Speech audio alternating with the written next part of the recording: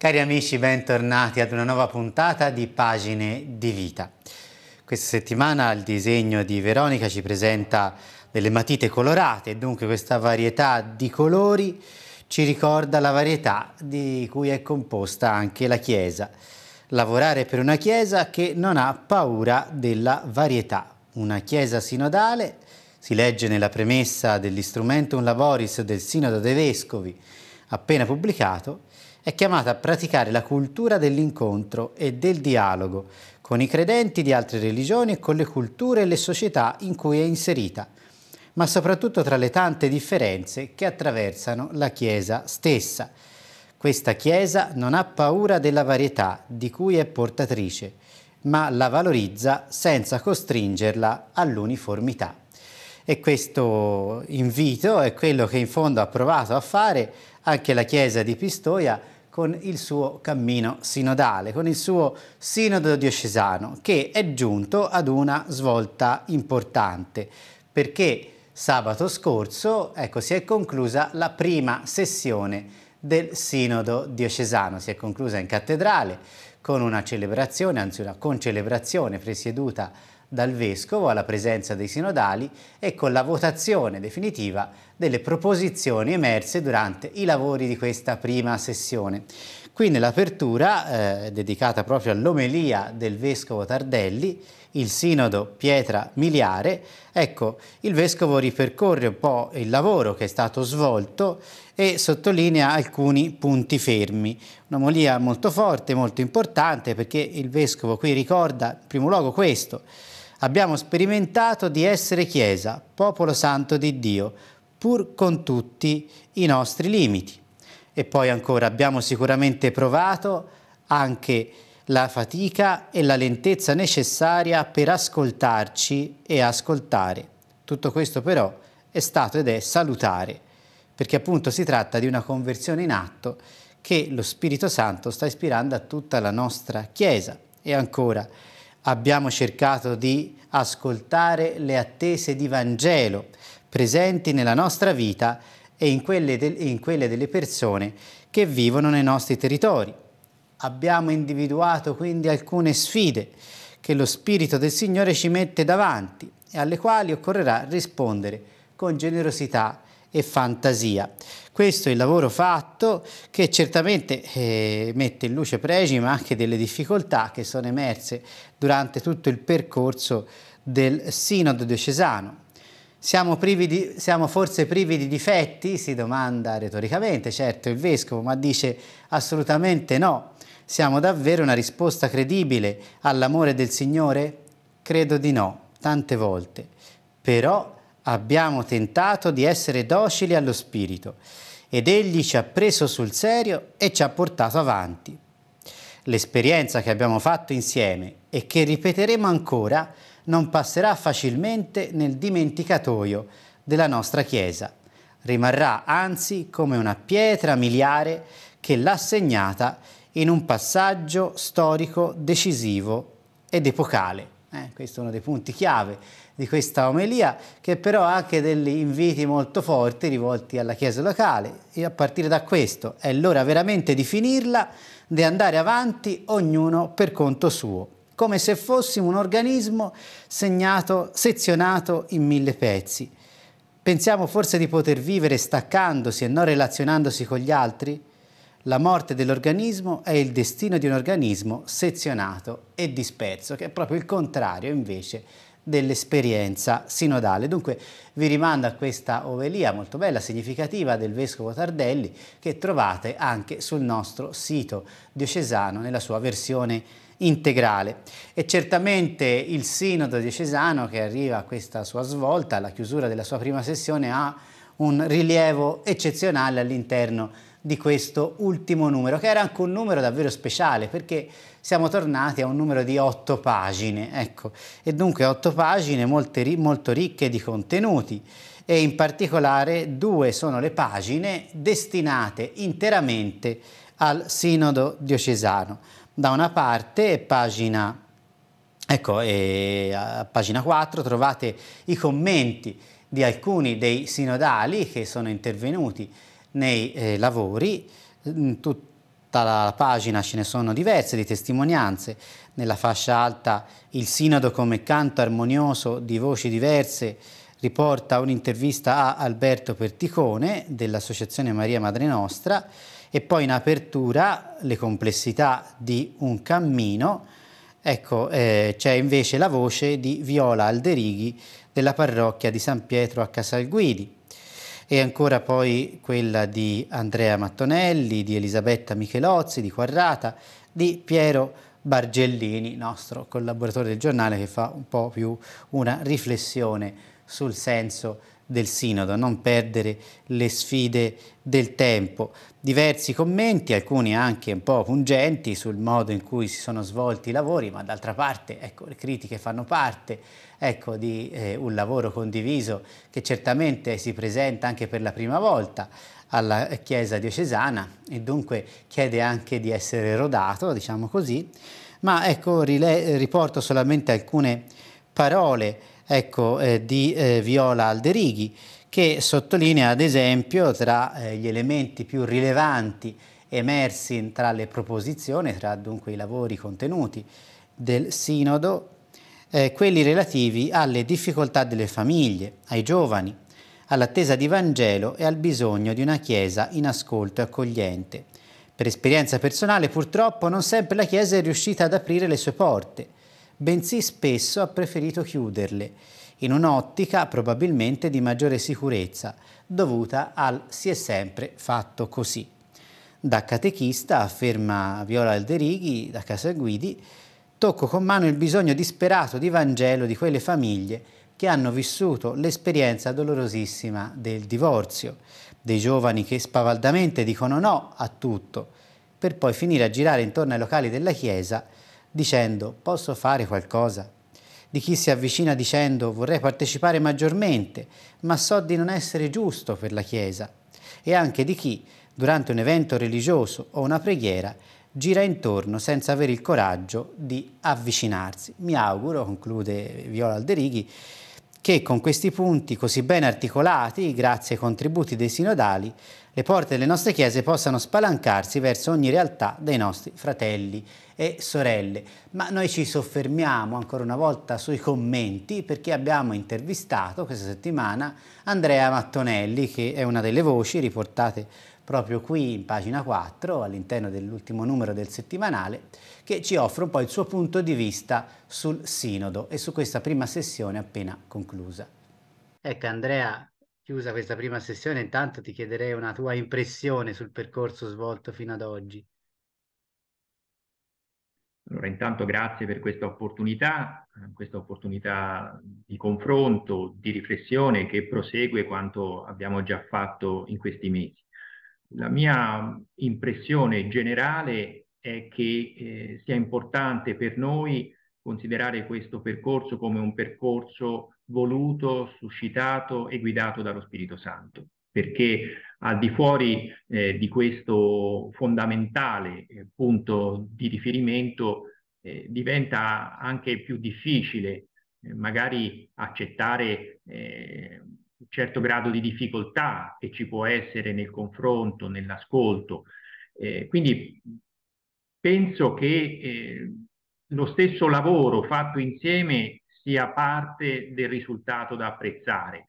perché eh, il fatto di eh, rimanere concentrati sui bisogni e sulle attese di Vangelo, resistendo in qualche modo all'impulso che è naturale di cercare subito delle risposte, sia un punto importante perché ci aiuta a soffermarci realmente sulle attese di Vangelo, rinunciando alla pretesa di avere sempre una risposta, ci sono delle domande che è bene che rimangano, eh, come dire, un po' in sospeso, ancora lì ad interpellarci, per evitare anche risposte banali, risposte eh, scontate e soprattutto proprio perché dobbiamo metterci in ascolto, in ascolto di noi stessi ma, eh, e di tutti coloro che esprimono un'attesa di Vangelo, ma soprattutto direi in attesa, eh, in, in ascolto, in attesa di quanto lo Spirito Santo eh, ci vorrà dire. Ecco, e questo è molto importante per me. Dall'altra parte ehm, posso dire che eh, il confronto eh, è stato importante, ma eh, come dire,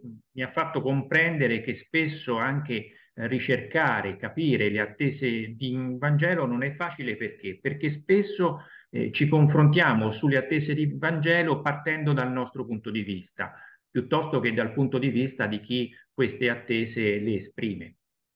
Ecco, tra queste attese ce n'è qualcuna che ti è rimasta un po' più impressa, che ti sembra particolarmente significativa per il percorso che è stato fatto? Diciamo che ehm, L'attesa che ha attirato di più la mia attenzione è sicuramente il bisogno di una comunità fraterna, il bisogno di fraternità, eh, che eh, è un po' trasversale, trasversale a tutte le riflessioni, a tutti gli interventi, a tutte le proposte di modifica, eh, insieme vorrei dire al, alla partecipazione dei laici. Mi è sembrato soprattutto che in assemblea vi fosse una forte sensibilità per questo aspetto, cioè riflettere di più e meglio eh, sul, sulla partecipazione dei laici. Quindi ho notato un grosso desiderio di partecipazione che forse andrebbe eh, accolto ma anche guidato perché divenga proprio un, un desiderio eh, di costruzione fattiva di una fraternità nuova, una fraternità che sia attrattiva, una fraternità che esprima la presenza di Cristo in mezzo a noi e quindi sia eh, capace di intercettare le attese di Vangelo offrendo quelle risposte che poi sono sempre le risposte eh, del Vangelo più che le nostre. Ecco, ma ora se qualcuno ti chiedesse, ma insomma Andrea, ma cosa è servito questo sinodo? Cosa serve? Tu cosa risponderesti? Intanto è un cammino, è un cammino guidato dallo Spirito Santo, è, è un cammino in cui abbiamo fatto esperienza di Chiesa. Ora è chiaro che per evitare che l'esperienza sia comunque autoreferenziale, dobbiamo avere la capacità di ascoltare lo Spirito Santo perché susciti in noi nella seconda fase eh, la capacità di individuare eh, quelle risposte pastorali eh, sulle quali poi si misurerà anche l'efficacia di tutto il lavoro fatto. Al di là eh, di tutto, comunque, eh, ehm, il percorso stesso ci sta insegnando cosa è lo stile sinodale, che cosa significa confrontarci eh, guidati dallo Spirito Santo, non perché non si sapesse, ma probabilmente lo stiamo scoprendo in modo nuovo. Bene, ti ringrazio allora, grazie del tuo lavoro, a presto. Grazie a voi, grazie a voi davvero. Ecco, e se Andrea si soffermava in ultimo sul senso di questo cammino sinodale, ecco, qui nelle pagine del settimanale trovate anche i contenuti che sono emersi in questa prima sessione, che sono stati votati, come vedete anche qui, ecco, nella fotografia ad alzata di mano, sollevando un foglietto, un cartellino verde, rosso o giallo, ma anche confrontandosi insieme su quelli che sono i vari temi eh, toccati dal sinodo, dalla discussione. Qui per esempio nell'apertura di pagina 5, decifrare le sfide del presente, trovate un po' un, una sintesi, una cronaca dell'ultima assemblea generale che si era svolta il 20 eh, giugno a Val di Brana, che aveva ultimato la votazione sulle proposizioni che poi sono entrate nel testo definitivo e che sono state rivotate tutte all'apertura della messa di sabato scorso. Poi alla fine, votata ogni proposizione, è stato votato l'intero documento. Certo, c'era chi era a favore, c'era anche alcuni no, c'era anche chi la pensava diversamente, questo dice la ricchezza anche di posizioni, varietà ecco, che c'è dentro la Chiesa pistoiese. In fondo anche il no è certo un elemento salutare all'interno della compagine eh, della Chiesa locale. Ma dicevo i contenuti, ecco che cosa c'è dentro questo testo che è uscito dal lavoro dei sinodali che sarà presentato, lo ricordiamo, nell'occasione della solennità di San Giacomo Apostolo il prossimo 25 luglio quando il Vescovo eh, consegnerà ecco, alla diocesi il frutto di questo lavoro. Ecco, dicevo, il, i contenuti di questo, eh, di questo testo, di questo libro sinodale, sono diversi. Intanto un'indicazione di fondo, quella che ci offre il vicario eh, generale Don Cristiano D'Angelo. Non produciamo un trattato di teologia, una somma pastorale teologica, né una legge, ma un orientamento con degli orizzonti di fondo per aiutare il vescovo nel suo lavoro di discernimento. Il testo è importante proprio perché frutto del lavoro comune, ma non dobbiamo aspettarci che esso rifletta tutte le questioni della vita della Chiesa, queste le parole del vicario Don Cristiano D'Angelo, né che sia espressione dell'opinione di uno o di un altro. Questo è l'indice del testo, che sarà reso noto nelle prossime settimane. L'indice riporta i titoli delle diverse proposizioni che lo compongono. Accanto chiaramente all'introduzione c'è la prima proposizione dedicata all'attesa di Vangelo, la seconda il tempo che stiamo vivendo, la terza l'attesa di relazioni umane significative, la quarta l'attesa di comunità fraterna e missionaria,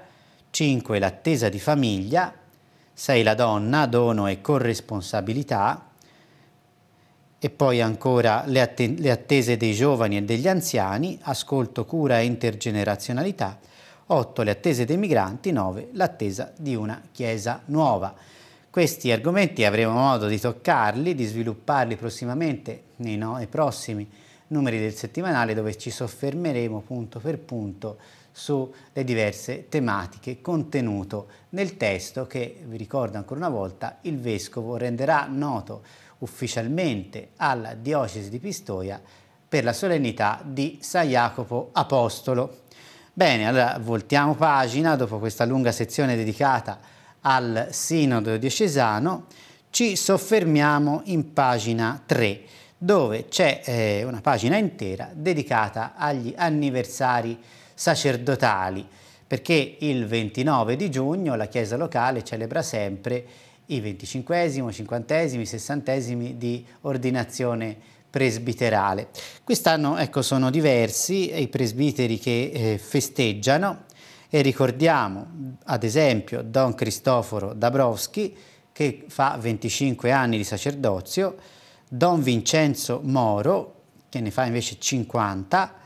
Don Piero Sabatini e padre Mario Franchi che invece sono alla svolta dei 60 anni di presbiterato. E poi ecco, ricordiamo anche che nell'occasione della celebrazione solenne del 29 giugno che il Vescovo celebrerà nel giardino, tra l'altro del Palazzo Episcopale, con questo desiderio ecco, di fraternità eh, presbiterale, si ricorderanno anche quelli che ancora non hanno raggiunto un anno ecco, di sacerdozio, e cioè Don Maximilian Baldi e Don Alessio Biagioni. Ma ecco qua,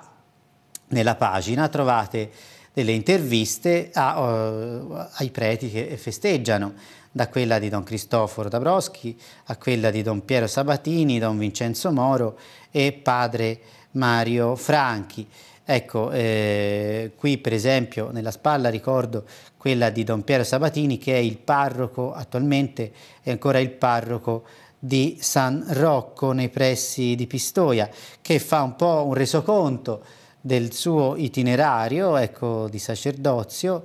e dunque dal suo essere stato cappellano al limite sull'Arno e poi ad Agliana, ma poi il suo parrocato a Villa di Baggio, dopo una breve parentesi a Montale di nuovo a Villa di Baggio e poi di lì ecco al centro di accoglienza e ancora addirittura a Roma all'OPAM, all'Opera di Promozione dell'Alfabetizzazione del Mondo e poi dopo eh, a San Rocco dove da 32 anni è parroco. Una vita dunque spesa su vari fronti, compreso un ruolo significativo nel campo della, solidarietà, della eh, carità. È stato infatti eh, Don Piero Sabatini aver aperto la prima mensa dei poveri, proprio qui a eh, Pistoia. Ma poi ancora ricordiamo per esempio Don Vincenzo Moro, che attualmente è il parroco di eh, Chiesa Nuova, chiesa, eh, chiesa, di Santa Maria Assunta in Gora, a Pistoia, che eh, non solamente fa il punto sulla propria vocazione, è nato dentro una famiglia ricca di vocazione al sacerdozio e alla vita eh, consacrata, ma anche una vita, la sua, particolarmente dedita allo studio, dallo studio della filosofia, ma anche allo studio di cui è stato anche insegnante per numerosi decenni nei licei pistoiesi, ma anche lo studio della Sacra Scrittura, in particolare dell'ebraico. Ultimamente, proprio in questi giorni, è uscito un suo ultimo volume dedicato al libro del profeta Ageo. E dunque, ecco, è una figura interessante che ecco, porta avanti anche questa dimensione di studio, di approfondimento della parola e che fa un po' sintesi del ruolo, del compito, dell'identità del prete, riassumendo così, prete come uomo del pane, della parola e del perdono, del pane chiaramente inteso riferimento all'Eucarestia, della parola in quanto appunto eh, si fa annunciatore e eh, maestro della parola e poi del perdono perché è capace di donare la riconciliazione con il sacramento della confessione. E poi ancora ricordiamo chiaramente brevemente per motivi di tempo l'intervista a padre Mario Franchi che racconta la sua storia di servizio da frate francescano conventuale, padre Mario Franchi è, è, è, entrato giovanissimo nei frati francescani conventuali e ha vissuto una buona e importante parte della sua vita nel convento fiorentino di Santa Croce, dove ha ricoperto incarichi importanti. È stato infatti rettore della Basilica, diverse volte guardiano dello stesso convento e per dieci anni anche ministro provinciale dei francescani conventuali. Poi a un certo punto ecco, la sua eh, vita eh, da eh, frate ecco, ha avuto un'interruzione, padre Mario ha sentito il bisogno di ritirarsi in una dimensione più piccola e quindi poi è entrato nella diocesi di Pistoia e eh, è diventato il parroco della parrocchia di Campiglio, Santo Stefano a Campiglio di Quarrata, dove tuttora svolge il suo servizio. Ecco qui lo vedete per esempio insieme ai bambini della prima comunione. Ecco, ma sono tanti contenuti in questo ultimo numero di otto pagine. Noi andiamo a concludere la puntata di oggi dando un po' di numeri e i numeri sono quelli del rendiconto della diocesi di Pistoia per il 2022. Qui in eh, settima pagina trovate un articolo a cura di Dario Cafiero in aiuto del territorio che riporta la voce dell'economo diocesano Elisabetta Fedi che illustra un po' i contenuti del rendiconto che trovate riportato integralmente in metà della pagina. Ecco, qui lo vedete eh, con le sue varie voci dove trovate eh, così anche subito a prima vista ripartiti in due grandi ambiti eh, i proventi eh, dall'8 per 1000 che arrivano alla chiesa locale, alla chiesa diocesana. Da una parte il primo capitolo riguarda le esigenze di culto e pastorale, dall'altra il secondo gli interventi caritativi e sono due voci importanti perché superano entrambe i 600.000 euro di spesa. Ecco una somma importante che però è vitale per la Chiesa locale, per più ragioni. Da una parte perché eh, attraverso i fondi destinati alla diocesi nel 2022 ecco, sono, eh, state, eh, sono stati possibili diversi interventi, non solamente necessari per poter sostenere, manutenere il patrimonio storico-culturale della diocesi. Eh, chiese nel territorio diocesano sono veramente tante, chiedono molti aiuti, molto sostegno. In fondo è un servizio che viene, svol viene svolto ecco, rivolgendo l'attenzione a tutti perché è anche un modo di rendere fruibile un patrimonio davvero consistente e importante. Ma poi ecco l'altra voce rilevante è indubbiamente quella che riguarda il capitolo della carità perché Qua eh, quest'anno, eh, o meglio lo scorso anno, i eh, fondi ricevuti dalla diocesi ammontavano a eh, 614.056,62 euro. E la spesa è stata ripartita su varie voci, particolarmente significativa quella ecco, eh, che riguarda la Caritas diocesana eh, nei confronti della quale si è prestata una particolare cura a tutte le attività ormai consolidate, mensa dei poveri, centro distribuzione vestiario, emporio solidale, centri di ascolto diocesano e zonali, ma ancora con i proventi dell'8 per 1000 sono stati sostenuti eh, il supporto sanitario, psicologico, legale proposti da Caritas e ancora sono stati finanziati progetti rivolti alla tutela della persona, dai minori alle ragazze madri, al recupero delle donne vittime della tratta e poi ancora numerose somme importanti a sostegno delle famiglie per far fronte all'aumento delle spese energetiche e al caro degli affitti. E poi ancora ricordiamo l'impegno, ad esempio, per sostenere l'accoglienza agli immigrati accolti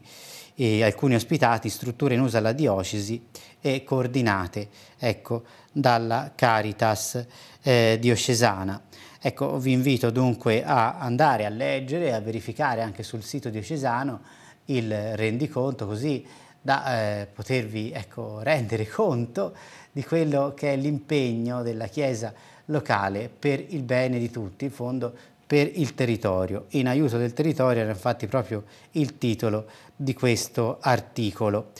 Bene, con questo è tutto, vi ricordo che il nostro settimanale esce ogni domenica insieme al quotidiano Avvenire in edicola. Noi vi invitiamo ad abbonarvi per riceverlo comodamente a casa e vi ricordiamo però che alcuni dei nostri principali contenuti li potete trovare anche online sul nostro sito web www.settimanalelavita.it. Bene, con questo è tutto, io vi auguro una buona settimana e vi do appuntamento alla prossima puntata.